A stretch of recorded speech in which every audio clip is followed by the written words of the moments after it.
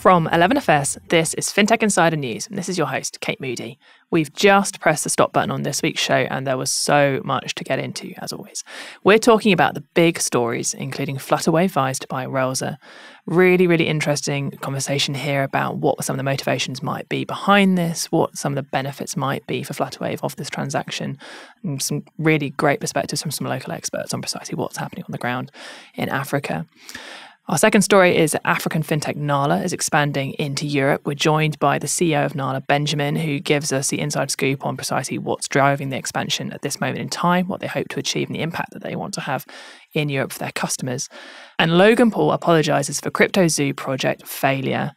The uh, YouTube celebrity has promised lots for his CryptoZoo, but sadly, nothing really has come to light so far. So, we look into what's driven this and what some of the repercussions might be for Logan Paul and for the crypto industry more generally.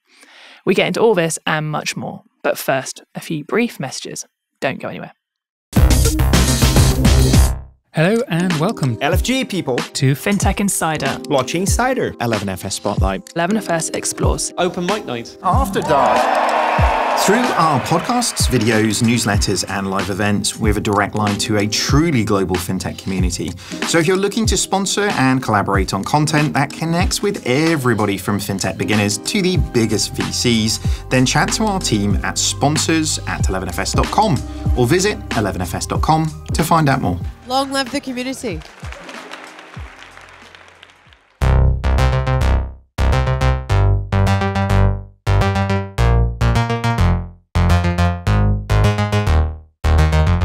Welcome to episode 695 of FinTech Insider. I'm Kate Moody and I'm joined this week on FinTech Insider News by some great guests to break down this week's biggest stories in fintech and financial services.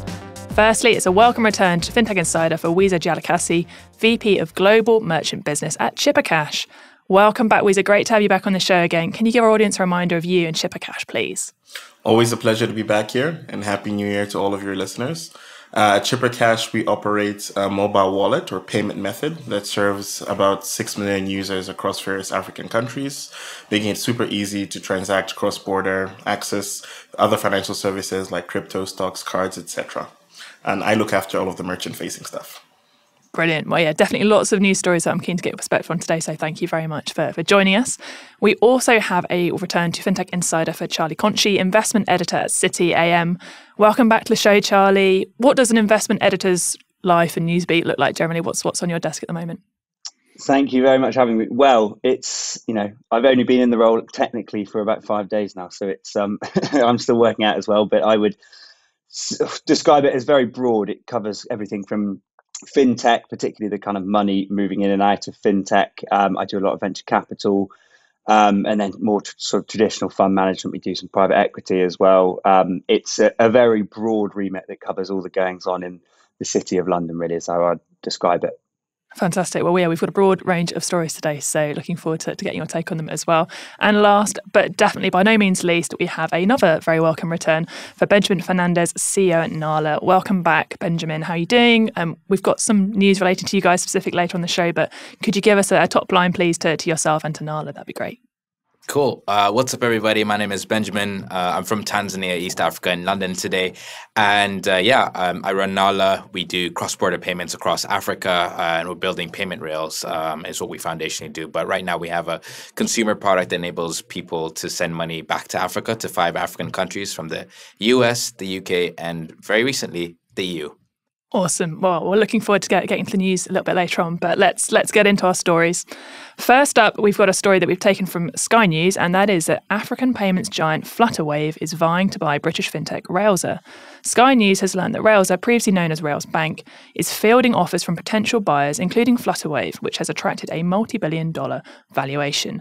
One insider said there was heavy competition for the asset, including a consortium comprising a number of existing Railsr investors. Railsr specializes in embedded finance solutions such as banking services, credit cards, and digital wallets. News of the rival offers for Railsr comes as expectations grow of a wave of consolidation in the fintech sector. Flutterwave provides payment infrastructure for global merchants and payment service providers, with headquarters in San Francisco and operations in Nigeria, Kenya, Ghana, South Africa, and seven other African countries. Um, Wiza, interested to come to you guys first on this. Obviously, Flutterwave and, and Chipper Cash have, have some overlaps. You know, I think maybe operating out of you know, a similar balance of operating out of San Fran and, and concentration in Africa.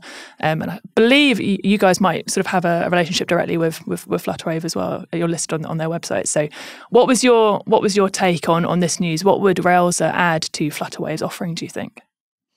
Yeah. So, firstly, I think it's uh, it's pretty exciting and consistent with um, a trend that seems to be occurring with uh, African focused companies that are sort of like expanding uh, into the rest of the world through M&A. I think a more recent example which comes to mind is MFS Africa's acquisition of GT Payments out of the US, the card issuing company. And I think this is really, really a, a great move from Flutterwave if it goes through. Um, Railsr has got some of the most sophisticated technology infrastructure for banking as a service that we've had the chance to use. Um, Chipper Cash in, in the UK is essentially built on top of Railsr's Rails. that was a lot of Rails to play around with. and um, when you look at the, the tech infrastructure, their, their stack, uh, it's very robust and sophisticated.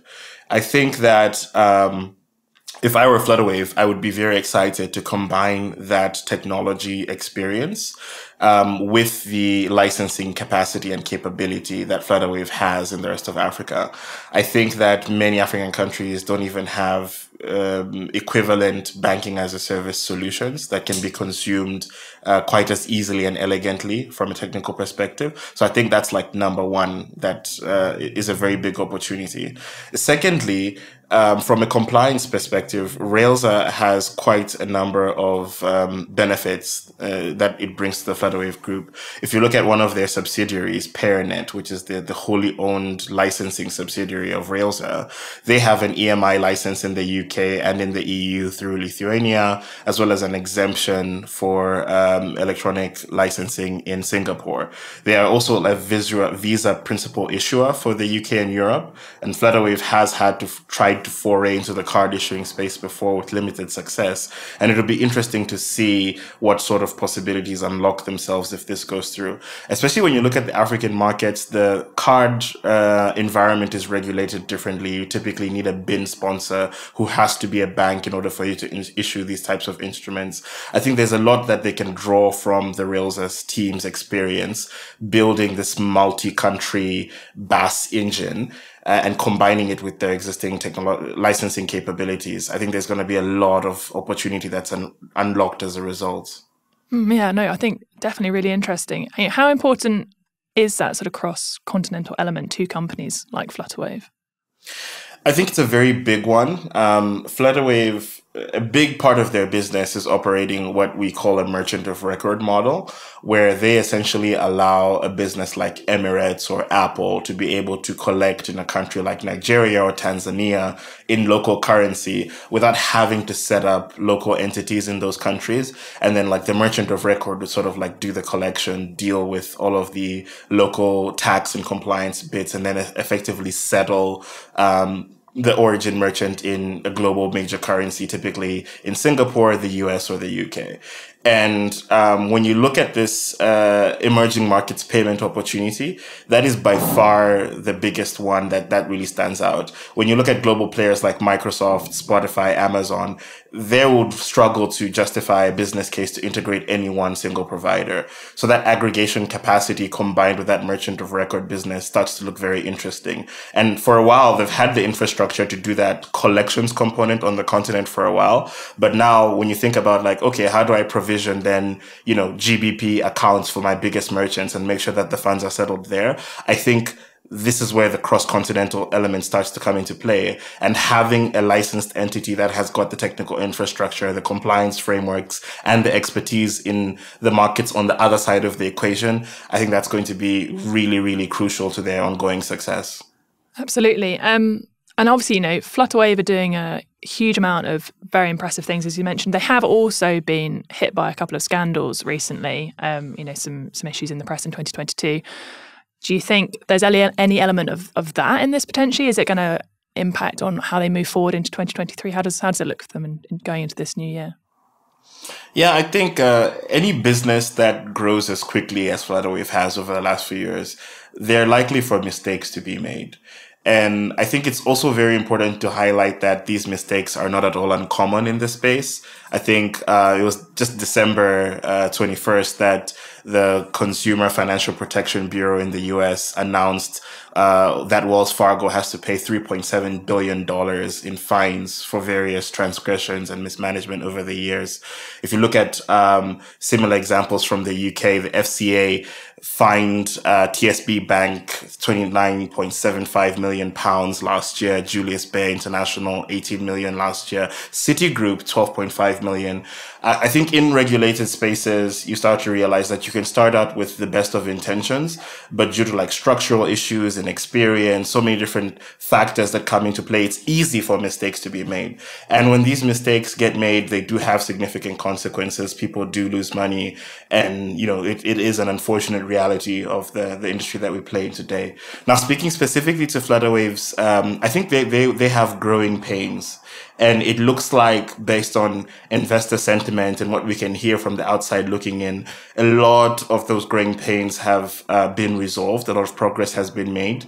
I think they have brought in more experienced executives to put in place proper governance structures that can ensure that some of these small mistakes, um, and even the larger ones that they may have made in the past, um, simply don't continue. But I think it's it's really too early to say whether or not that's going to have any impact. I think from a regulatory perspective, perceptions do matter a lot here on the continent. Certainly, all of the regulators, the central bank governors, do talk to each other uh, about everything that's happening in the space. But they have made a lot of headway over the years in, in towards uh, improving their governance, and I think that's by far the most important thing. And if this Railsr deal goes through, I think there's going to be a bunch of super talented people bringing in that global compliance perspective to further strengthen their governance structure. Absolutely, um, Charlie. What, what's what was your take on on this story? Have you heard anything about the Railsr sale that kind of helps understand why why is this happening now? What, what's driving it? It seems in some way to be a bit of a, a, kind of tale of the year where we saw, I think it was you know 12 months ago, Railsr was raising cash at reportedly you know near unicorn valuation, 100 million. Um, it was raising, I mean, um, and then that you know raised again in, in the summer at a massively cut valuation. I think there's you know reports of a round of layoffs going on, cash flow troubles in the second half of the year. But as as Wiza kind of touched on there, it's it seems to be a logical deal to tie up. It's still a you know a, a great business. It does just seem to be one of the fintechs that has been hit by the horrible downturn that is you know a lot of the market is facing. I think it was a, a company that was scaling very quickly and and and now is unfortunately probably feeling the pinch as the um, the economic conditions turn against them. Um, you know, Flutterwave, as Wiza touched on as well, it's a, a, you know a real force to be reckoned with, and that seems to be the name that's being bandied around at the moment as the most serious suitor. So it'll be very interesting to see um, how it develops over the next couple of weeks and months. Absolutely, Benjamin. Um, you know, would would you like to see this this sale go through for for Flutterwave? Obviously, you know, as we touched on, there are some some other competitors potentially as well vying for vying for them. Do you think it would be a good thing for African fintech as a whole if it still went through? Um, yeah, so I don't know what the value is for Flutterwave, to be honest. I'm just going to pick that perspective or opinion. Um, like, if the issue is getting an EMI license, they can apply for one themselves. We're in the process of doing that. It's not super complicated. So, like, how much value is this actually creating for Flutterwave? If you have an EMI license, you have to have directorates sitting in the UK are Flutterwave willing to move their CEO or C level to the UK uh, for operating their business that primarily operates out of Nigeria and across multiple African countries, right? So like, there's many other things that Flutterwave need to consider in this acquisition. Will it actually go through? Like if it does great but if it doesn't like it doesn't stop flutterwave from achieving what they want to achieve. Um, if the value is the emi license if it's passporting across europe getting something in lithuania or ireland set up like they can still do that themselves directly today. So I don't know how much that value would actually create for them today versus them just doing it on their own um, and having a clean set of books. Because if you take Railsr on, you also take on all the liabilities, all the companies that they've taken on. Remember, Railsr acquired Wirecard. Wirecard had a huge mess, um, and everything was had to get taken away from there. And the amount of fintech companies that were affected by that was a lot and exorbitant, right? Um, being a banking as a service provider, people come to you because maybe it's the fast way to enter the market. You know, you also have a lot of risky clients that um, are involved with Railsr. So uh, these are realistic things we have to to consider. And so um, whether it's Flutterwave, whether it's somebody else, um, you know, great. If it's Flutterwave, cool. Wiza and I both know GB, we, uh, who's the founder and CEO of Flutterwave, and we have full respect for him um, and have worked with him in multiple capacities. But if it's not Flutterwave, I don't think it's the end of the world for them. I think they have multiple other opportunities. And so whoever does acquire Railsr um, will have to really consider these pieces and elements and the liability they'll have to be taking on and are they ready for it? Um, I think uh, Charlie touched on it briefly is my prediction is I think there's going to be a lot more M&A activity happening, especially in the UK fintech scene over the next uh, year and a half to two years.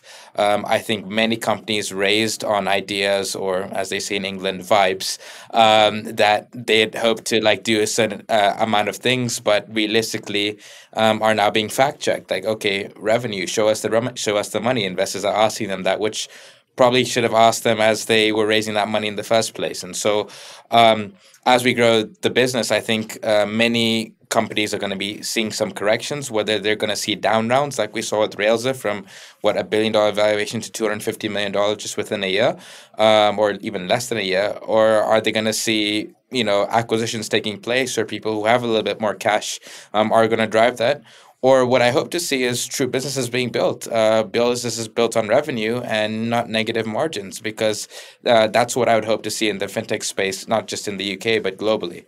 For sure, yeah, I I think you're right. I think we're definitely going to be hearing a lot about M and A activity across across this year. So I won't be surprised if it crops up into more stories.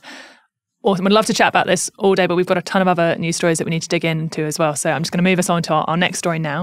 Uh, and that is from TechCabal. And that is that Nala is expanding into Europe to enable cross border payments. Nala, a Tanzanian fintech company, has expanded its services into the European market. This expansion will allow the fintech to operate in 19 European countries and enable cross border payments from them to African countries. Over 11 million African migrants live in Europe, meaning Nala's expansion has the potential for significant impact by providing more options to send money from Europe to Africa. Nala's expansion follows in the footsteps of Nigerian Blue Chip Technologies after the software company expanded into Europe earlier this year. Benjamin, eh, great to have you on here to talk about this exciting announcement. Obviously, going to come to you first. Why is this the right time for you guys to be expanding into Europe? Thank you. I mean, we've worked really hard across the UK. So our largest customer base live in the UK and uh, send money to multiple countries in Africa. So currently we serve uh, five countries in Africa. Um, and, you know, obviously I, am Tanzanian. So Tanzania is home base originally for me. Um, I grew up there. I actually just got my BRP two days ago in England. So I can be, uh, you know, working uh, as well because we have an office here and I've not been able to even work from our UK office because I'm not, you know, anyway, UK immigration is another discussion for another day um, regardless, there's a lot of Africans who live in Europe. Um, just historical relationships with, between both regions, trade relationships between both regions, um, and there's a massive opportunity there. You know, Africa is unfortunately the most expensive region in the world to send money to. Um, globally across Africa, one thing you have to remember is the dollar is the world's trading currency. Um, you know, all of global trade still happens across USD. That mm, primarily happens in Africa. Now, across the African continent, there's a massive dollar shortage.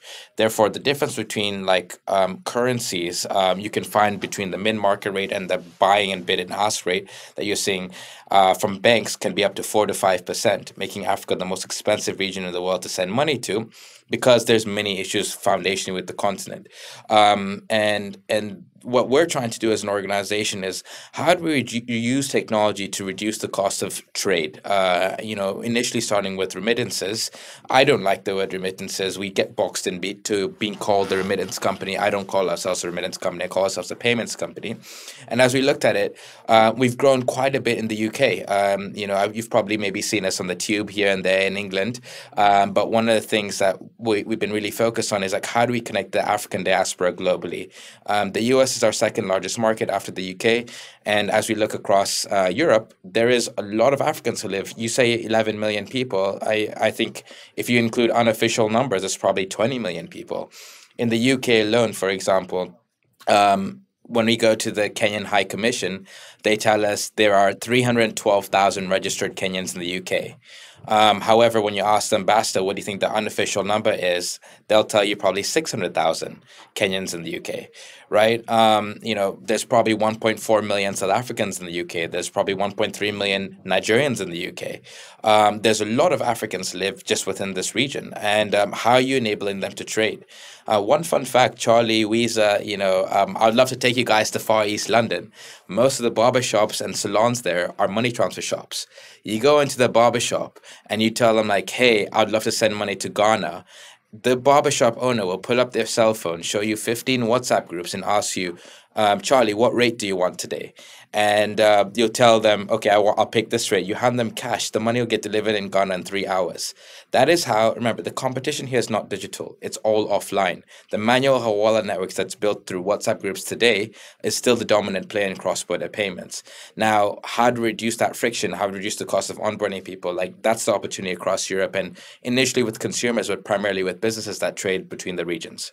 Yeah, I think that's that's so true. What you're saying about the competition not being not being in like the established financial space. Um, I did some some work in, in Ghana a couple of years ago, and someone showed me the exact same experience of yeah, kind of getting that FX uh, exchange rate kind of via WhatsApp, and it's it's a phenomenal customer experience, you know, in terms of the speed and the uh, the accuracy of it, and the, and yeah, it's it's it's phenomenal. So that that's what you really have to compete with. Um, I mean, you've touched on some of the I suppose problems that you're hoping to solve for for consumers, but I suppose what were some of the problems that you guys have had to overcome as an organisation just to make this expansion possible? What, what's what have been the main barriers for you to move into Europe? Well, I will say holding a Tanzanian passport did not help. Um, you know, well, just compliance and reviews and things like that, you know, just following the law, right? So, like, um, as we're trying to get approvals, the approval process for us, you know, police reports, validation, making sure I'm a real person, making sure we had to go through significant, not just across Europe, but even when we're doing this in the US. And that's difficult, right? It, it makes it harder for African entrepreneurs who are building global businesses to even expand because there are immigration laws that you know make it a little bit trickier. And so like it's like okay can this person be a director of a company that operates in europe? Um, and all these other questions pop up right? Um, and so i mean it, has been good. I think a, few things that i would love the, the few positives i'd love to see uh, and happen across many of the regions and a few things that are a little bit tricky. For example um, in, in locations like Germany or the Netherlands, um, you know, many people have Maestro cards or IBAN, um, you know, and so being able to bring them on because right now we support Visas and Mastercard cards uh, making sure we have enough payment partners that can support us that way, right? And so, like different payment partners, the moment you say you deal with African payments, they're like, oh, you're on the highest risk, which means it's the most expensive one, which also keeps costs really high, which is completely opposite to what we're trying to do. Um, and until you build that level of trust with different payment partners, they won't take you on, right? And so, I think that has been some of the challenges that we face. So, like, how do we keep costs low when payment partners are also trying to de-risk, but because we serve a region that is listed as high risk, um, it becomes really expensive for us to service that market. And so um, those are some of the challenges that we've seen. Uh, we're very hopeful. Like the initial, uh, you know, feedback we've gotten from our customers in Europe have been phenomenal. Like our largest customer base is Germany, then France now, and then Finland. Surprisingly, third. It's just when people love the product, they just tell all their friends about it, and then all of a sudden we just have users picking up and like, why is Finland our, one of our fastest growing regions? Um, so that's been uh, really exciting to see. We'd love to service other markets, but right now we only service uh, euro uh, for currency. So Switzerland, uh, the krone in uh, Sweden, and so on. We don't serve right now. Sounds like a yeah enough to keep you busy, certainly in the certainly short term. Um, Weez, I'd love to get your perspective. Um, you know, Benjamin's touched on on their expansion. It's an interesting question. I think that all scaling fintechs have is you know, do you want to focus on expanding markets first, or do you want to focus on you know, broadening out your, your product offering or innovating kind of your, your your product roadmap. So what do you think is is more important? Is it that market expansion and getting the growth there, or is it building out the product? Um, I think at at some point you kind of have to balance a trade-off between both uh, but that market ex- expansion is certainly very crucial. Uh, i'm pretty excited about the nala news um, even though some might be wondering because chipper would be perceived to be a competitor but uh, as my, my landlord is the ceo of mfs africa they probably terminate the most value from all of the uk based remittance companies into africa. He'll say that the competition is with cash um, yesterday, I was trying to send money to myself in Malawi. I'm originally from Malawi, right next to Tanzania. So Benji's is my country neighbor.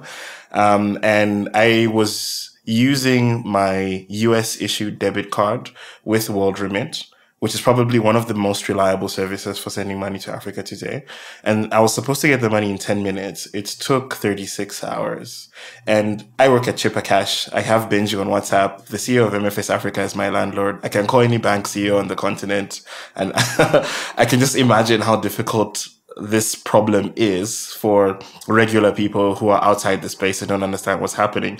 I think there's still a very, very big um, opportunity to lower the cost of those remittances because within the continent, within individual countries, the financial services infrastructure is very sophisticated and robust, and you can move money around very quickly, especially in countries like Kenya and Nigeria. Now, going back to your initial question, like, um, because individual markets in Africa are perceived to be small, especially from like a venture perspective vis-a-vis the other opportunities that exist globally, it is fundamentally important to de-risk your business by being able to demonstrate to investors that you can operate in more than one market.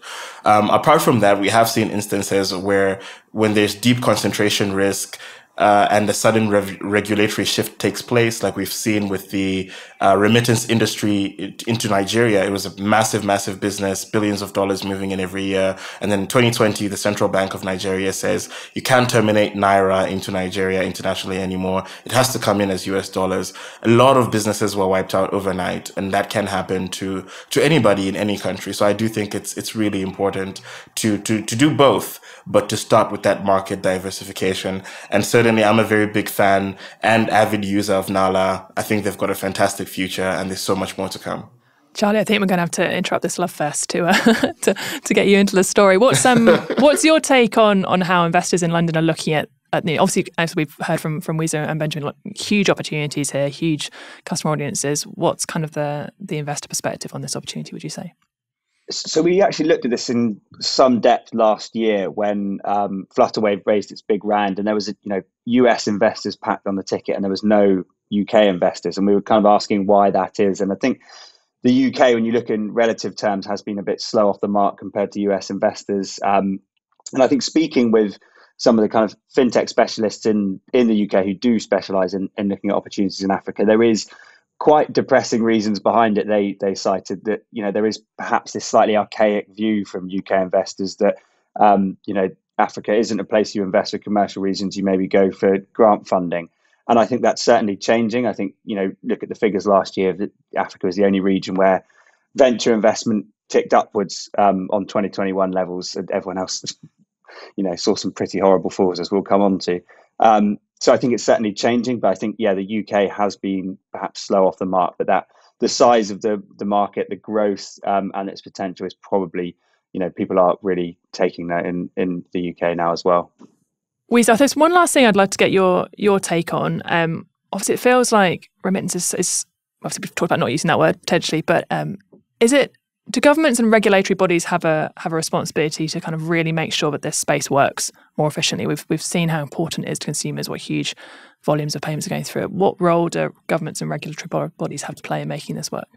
Yeah, I, th- I, think they have a very big, if not the biggest role, especially in emerging markets where remittances are a significant GDP contributor.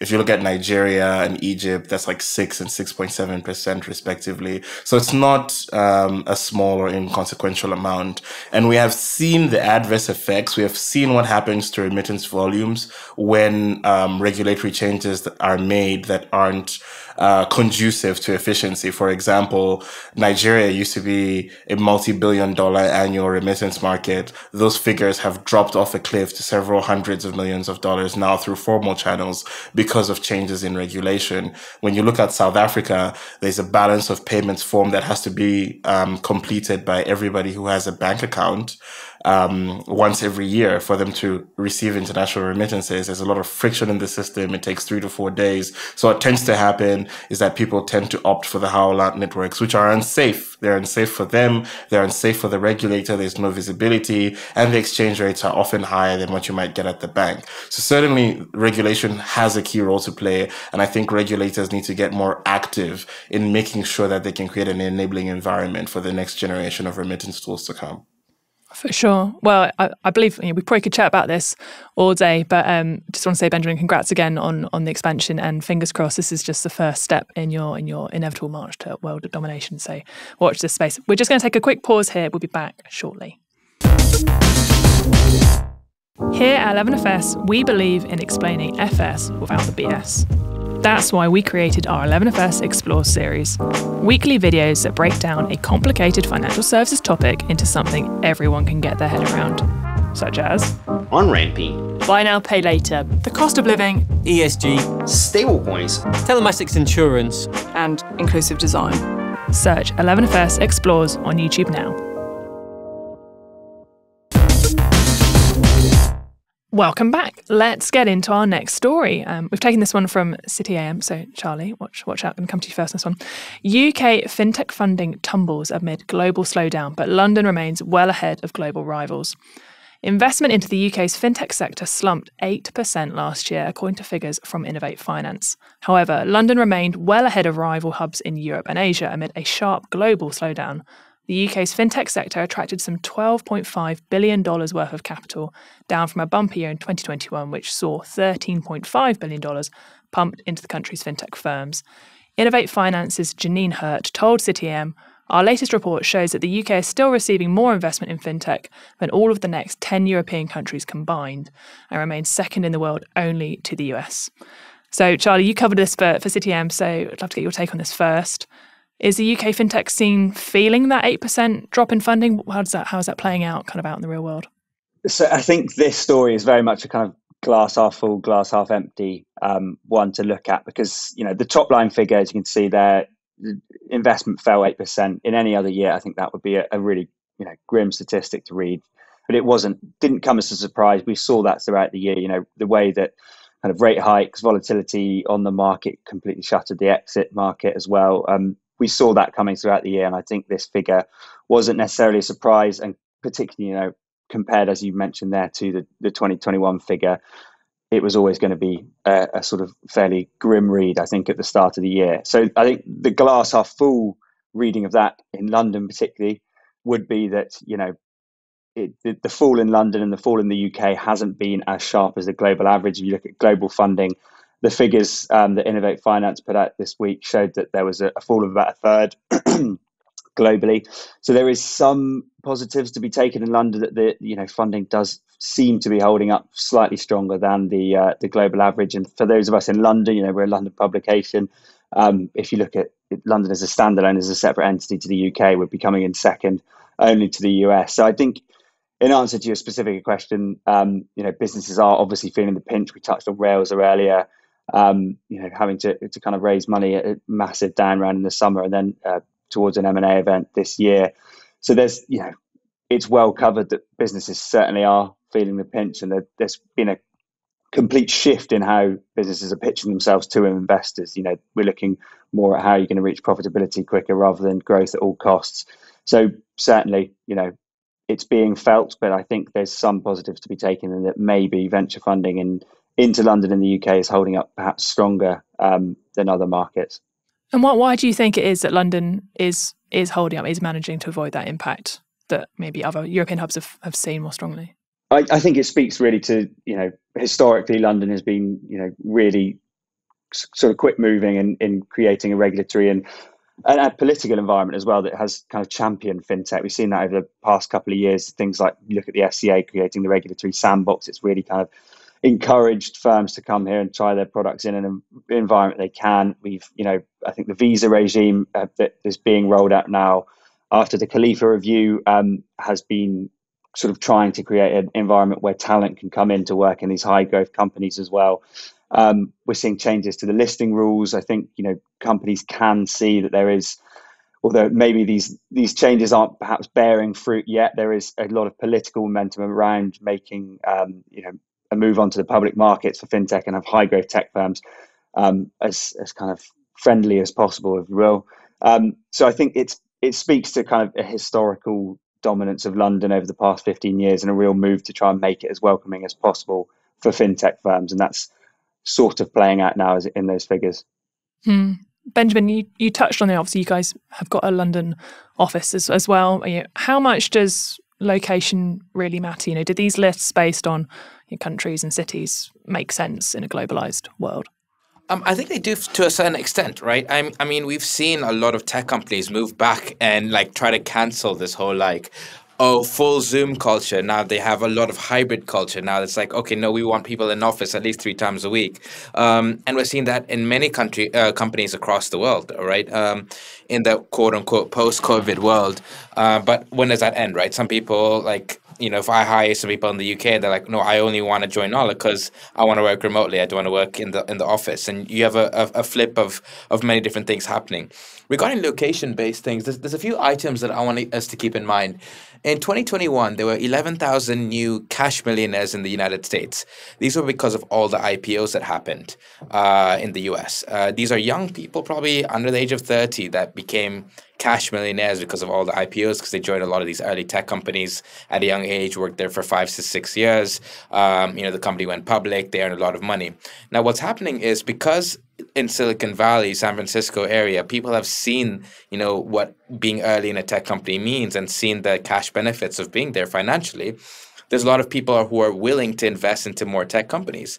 So the risk appetite for a lot of those people is still there, right? And the USA will lead globally for a very, very long time because the USA leads globally in technology today, uh, in tech companies at least, right?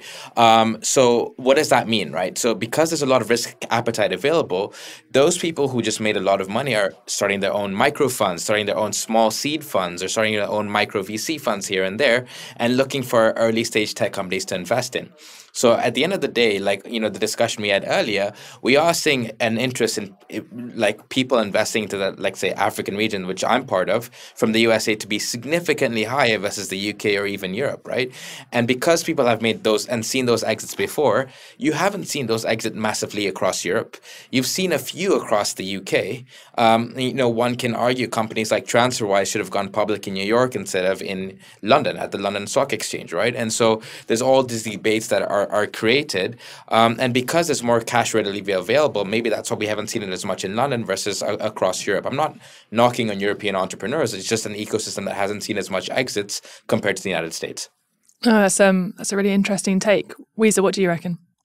Um, I definitely agree with points raised by both Charlie and Benji here. What's interesting for me is that like I see a lot of emerging markets entrepreneurs choose to incorporate and headquarter their business in the UK because it's pretty accessible with Africa. Time zones are a very, very big differentiator versus somewhere like San Francisco, where with the UK, you've got like an hour's difference with Lagos as opposed to six or seven hours with San Francisco. That's a very big game changer. Another one is that's the immigration, the Tech Nation visas. I can't count with both hands how many Nigerian founders I personally know who have moved from Lagos to London this year. Um, and it is pretty important for them to be able to build their teams and access global talent and talent and London sort of plays a role as a hub for that. If I can draw from an adjacent industry example yesterday, uh, a company called InstaDeep, which um, is founded by Tunisian founders from Tunisia, born in Tunis, they uh, sold their company to BioNTech, um, the company that uh, collaborated with Pfizer for the mRNA va- vaccine that is uh, uh, hopefully still flowing through my veins and keeping me safe, uh, for about 398 to 562 million pounds, depending on who you ask. So it's pretty interesting to see how TechCrunch reports that they say BioNTech acquires Tunisian-born and UK-based AI startup InstaDeep for 562 million, but then the FT is reporting it as uh, though InstaDeep is a purely UK startup that's being acquired. I think the lines are definitely blurred. I can't tell you if InstaDeep is Tunisian or uh, British uh, in this sense, but certainly what is very clear is that the founders made an intentional decision to domicile the business in the UK because it made these types of transactions much more easy to achieve in practice. Yeah, but at the same time, can I just jump in really quickly? Um, investors are more comfortable investing into entities that operate in markets they're familiar with, right? So, for example, every single Y Combinator tech company uh, that comes from Africa is registered in the US. So are they US businesses at the end of the day? Because at the end of the day, the holding entity is a US entity, right? Uh, Chipper Cash is a US business. Flutterwave is a US business, right? Nala, we have a US entity as well, right? So we are all included in the same cycle. So what is an African business at the end of the day is, is the, the question that comes up. So um, I, I, think the Louise has made some really valuable points around that. But uh, the one I really feel strongly about is definitely the location piece because uh, the, where the UK sits with like different regions, like Africa is perfect location for time zone for employment as well as work. We've been very complimentary of, of London. I suppose I'll try and bring a little bit of a balance back to it. Maybe I'm wrong, but um, you know, Charlie, there was a lot of criticism in the aftermath of of Brexit. You know that we were going to see a sort of brain drain out of London. That London was going to become less attractive as, as a place to build build teams and build products. As a result, you know, has that come to pass? Have have we seen that play out, or was was that sort of people being over paranoid? Do you think? I think that it, there's obviously been a huge effort to stop it happening. I think fintech was one of the things that London and the UK could actually say, you know, we're we're globally leading in. It was, a, you know, an industry where we made a huge effort in, in advance of Brexit to to kind of create an environment that it could flourish. And I think, therefore, you know, beyond that, we've seen things like the Kalifa review. We're seeing it now with um, new rules being, you know, drawn up for crypto. The UK supposedly making itself a, a global hub for crypto, for better or worse. Um, so I think you know there's been this political emphasis and this regulatory emphasis, and because of that, and you know just a level of conversation around it as well coming from the top. I think you know you can argue how effective some of these reforms are, but I think even just paying lip service to it has kind of kept it front of mind and kept it as a, a global de- destination. So certainly the if you look at the funding figures, they speak for themselves as well. They, they kind of continued ticking upwards, and as we've touched on here, there hasn't been too sharp a drop off. So I don't think the the impact of Brexit has been bad in in that that sense. I'm not speaking in other senses at all. Um, I just think you know if we look at the figures, the sort of investment figures, and and how the industry is performing, it perhaps hasn't had the impact that some feared it might. For sure, yeah, um, yeah. As, as you say, we've we've spoken a lot about fundraising figures in in, in this story. Um, for our listeners, you know, if you're interested in finding out a bit more about some other metrics you can look at for measuring success in fintech, you can check out episode 685 of FinTech Insider, wherever you get your podcasts. Our next story comes from BBC, and that is that Jack Ma is to give up control of fintech giant Ant Group. The billionaire founder of Ant Group, Jack Ma, is to give up control of the Chinese fintech giant after a regulatory crackdown. Ant Group runs Alipay, the main online payment system in China, which has eclipsed cash, checks, and credit cards. Mr. Ma has seldom been seen in public since criticizing China's financial sector in 2020. Following that criticism, Ant Group's planned stock market flotation was abruptly halted. Ant Group said that after the change, no one would have overall control. Mr. Ma, a former English teacher who founded e commerce giant Alibaba, directly and indirectly controls more than 50% of Ant Group. However, after the changes in governance structure, he will control just over 6%, according to an Ant Group statement. Well, as, as, um, as alluded to kind of in the intro, we've been kind of keeping an eye on this since for a couple of years now. Um, Charlie, were you surprised to see this? Has Jack Ma's time in charge always been always been at risk? Yeah, I, I, don't think it was a surprise, really. You know, it seems like a fairly natural culmination of, of what we've seen over the past couple of years there has been this regulatory and political crackdown on the tech sector. It's it's really sort of hampered valuations. It's, it's you know it's had huge knock-on effects across global markets. So I think this was you know Chinese government seems like they've been trying to keep Jack Ma in check for quite a long time now, and perhaps this was a fairly predictable conclusion to the saga. Wiza, how how much of a global force is China's fintech scene now? Would you would you say? Um, I think it's it's an interesting like case study to observe for uh, other markets potentially, but you really don't have the same ingredients that uh, are able to make uh, China uh, the successful that market that it is today in other markets. Um, in the beginning, in the infancy of the industry, it does seem that the Chinese regulator was very progressive and enabled this level of innovation to take place. Outside of Alipay, we've also seen quite a lot of success from WeChat, who I think are now second by market share uh, in China. But you've got this like single large contiguous regulatory market with a mass of people that doesn't exist anywhere else in the world. So I think that like success is dip- difficult to replicate in any other environment, but it does present an interesting case study that maybe countries like India that have got similar population size, but a more decentralized government structure could potentially use to observe. I think it's also worth highlighting the degree of sophistication and integration of China's government systems in general. I mean, it's no secret to anyone who's listening about their version of the internet and all of the structures that they've put in place to sort of like create this cozy walled garden that um, they have a high degree of control over. And you just don't see that that degree of government involvement in the sector anywhere else. And I think we've gotten to see the upside of what happens when that helps, and we've also gotten to see the downside of what happens um, with this uh, uh, a really unfortunate end to what seems to be Jack Ma's uh, story with with Ant Group in the way that we've known it so far. Benjamin, do you think it'll be the end of Jack Ma's story of Ant Group? I mean, obviously, there's lots of rumours now about what, what he might do next. What, what what do you see him doing next? I mean, I think he's fine and he's he's good, right? Like if he doesn't work a day in his life again, like he's fine financially too. So I mean, it's, it's up to him and what he wants to do. Does he want to get involved in the payment space? Does he want to just take to philanthropy, which he's he's also doing quite a bit of? Does he want to just go on vacation? Um, does he want to start a fund uh, in London to help uh, UK uh, tech companies? Um, it's all up to him, right? So um, even if he exits, um, I I don't think you know putting myself in his position, you know I I, th- I don't know. There was a lot of rumors that happened from different stories about you know when he went missing and what's going on. Um, foundationally, I don't know what the truth actually is. Um, I don't know what to believe anymore in the news after FTX.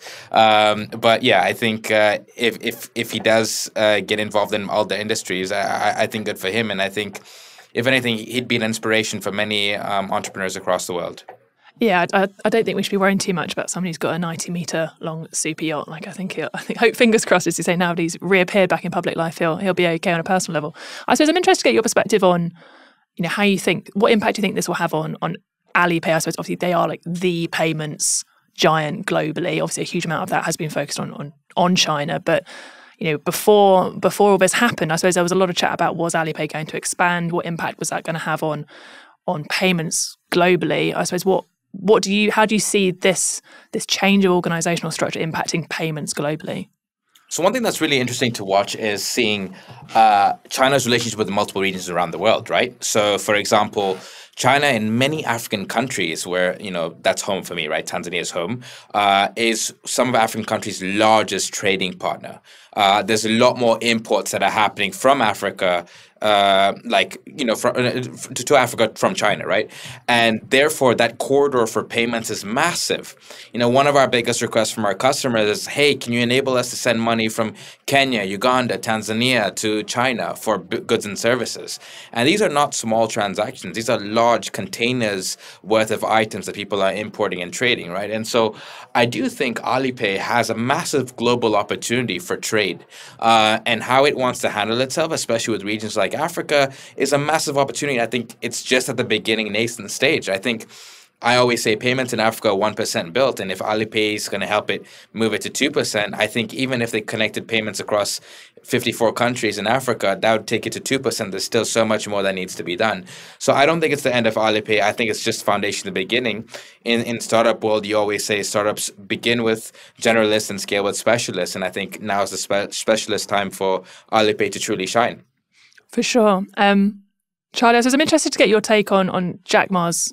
I mean, I was going to say the word legacy as if as if he's kind of died and disappeared, which obviously we, we're not saying that he has. But if this is the end of his time with Alipay specifically, you know, what what do you think his his his legacy will will be? You know, I think he's quite often sort of seen almost as one of those like iconic founding figures of of fintech. You know, if there was going to be a sort of Mount Rushmore of, of fintech, do you think he'd be one of those founding fathers that we'd, would put on up, up, up on it? What, what do you reckon?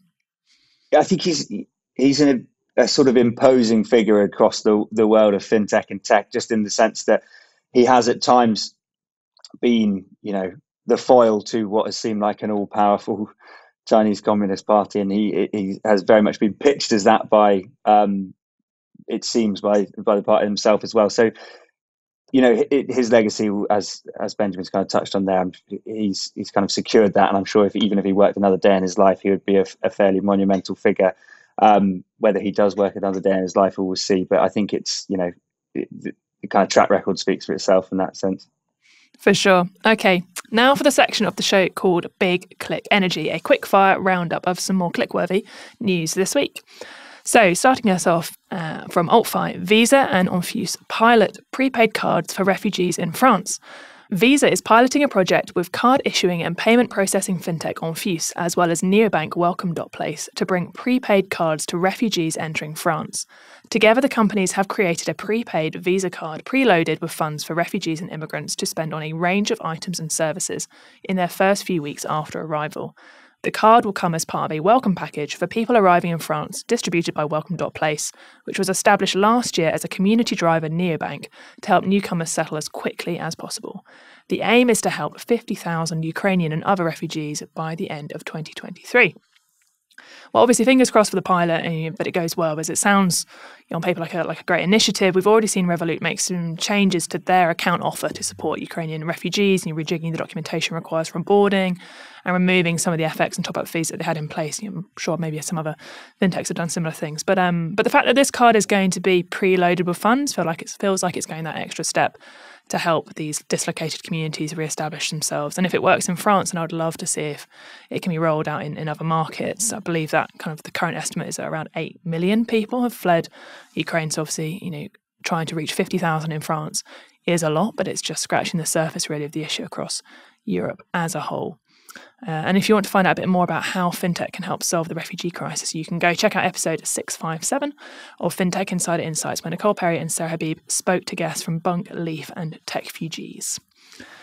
And we also wanted to give a shout out for open banking, which has turned five. So, Friday, January the 13th, very auspicious, marked the fifth anniversary of the rollout of PSD2 in the UK.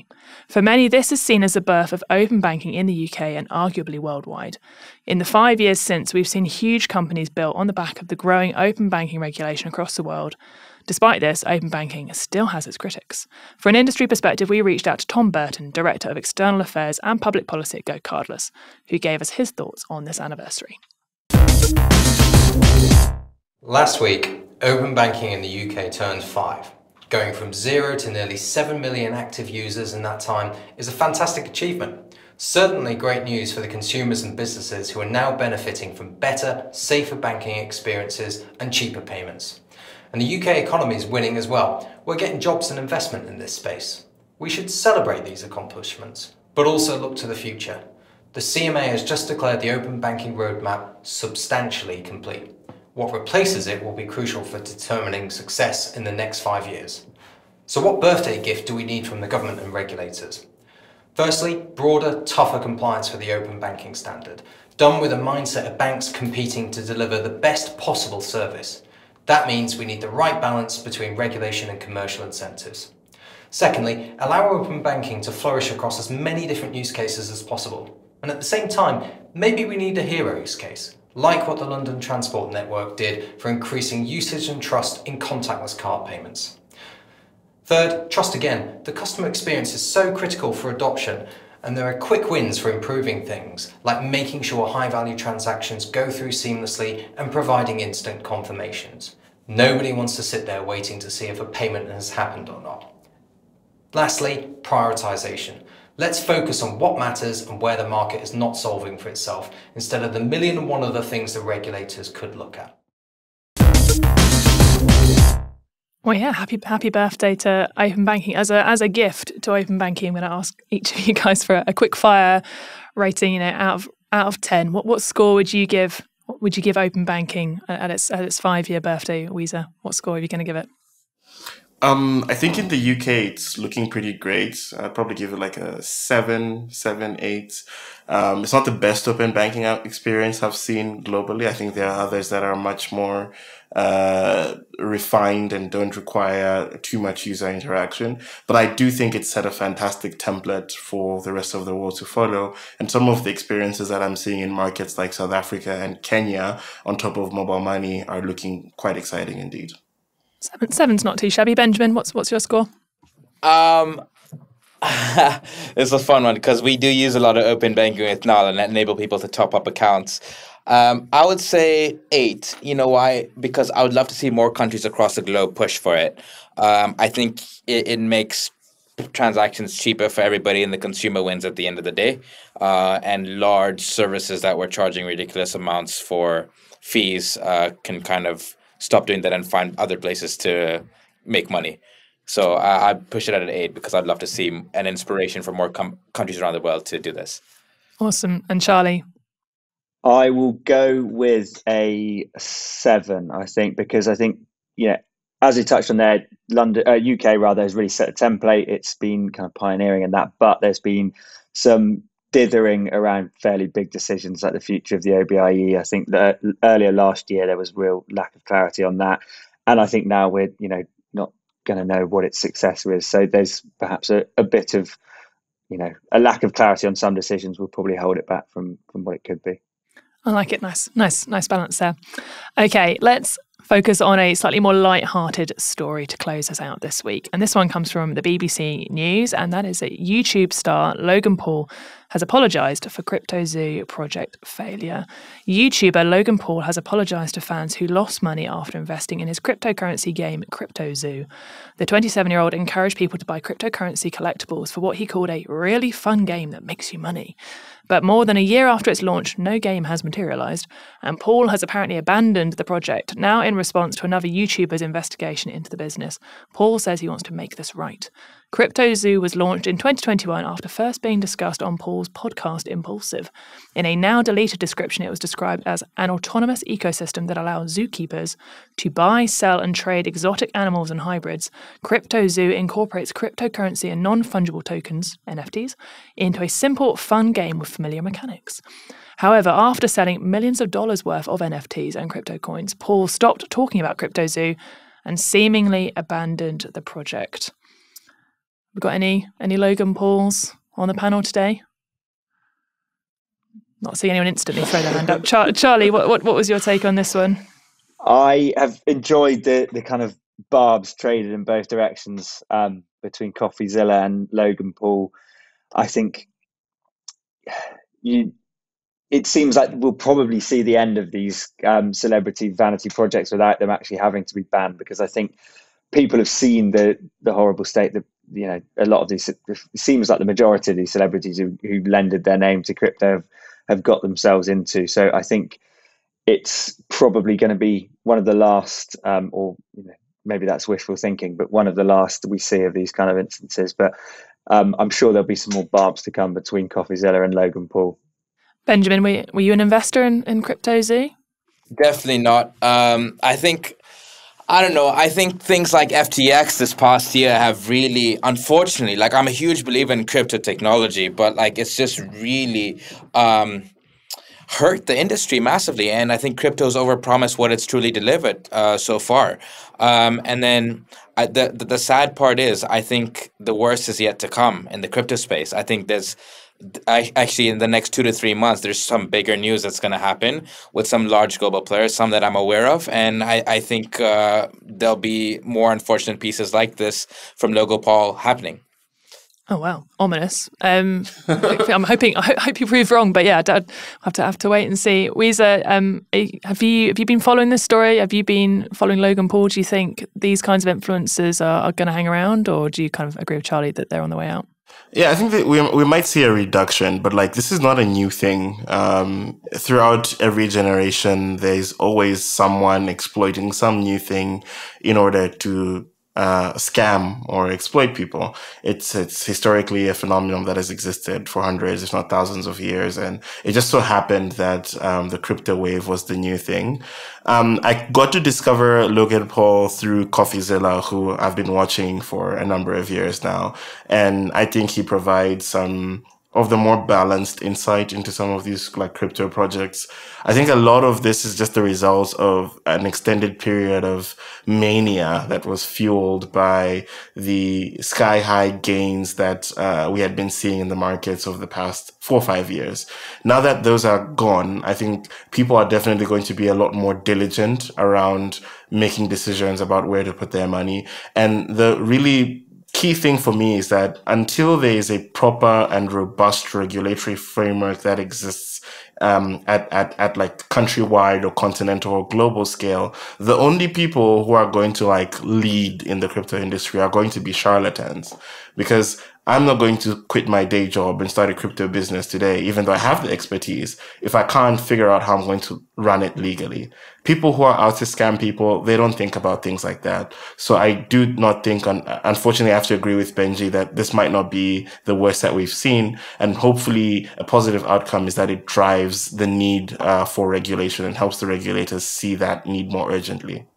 Well, yeah, absolutely. Let's let's watch this space. Well, sadly, that wraps up this week's news show. Thank you so much to today's guests. It's been great to hear your takes on everything. Where can people find out a bit more about you, Benjamin?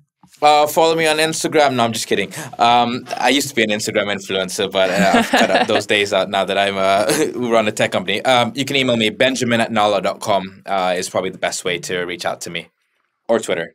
Awesome. Charlie, what about you? cityam.com, pick up a copy of the paper, or I'm normally tweeting things as well. So uh, that's probably the best way to get me. What's your Twitter handle?